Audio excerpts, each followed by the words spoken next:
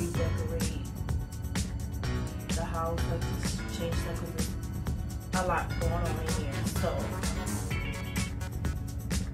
y'all about to watch me clean up and organize my workspace. Most of all of this just work stuff anyway.